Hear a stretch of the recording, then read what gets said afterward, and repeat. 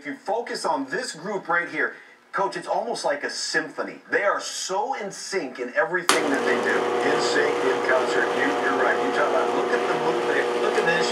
This is just outside.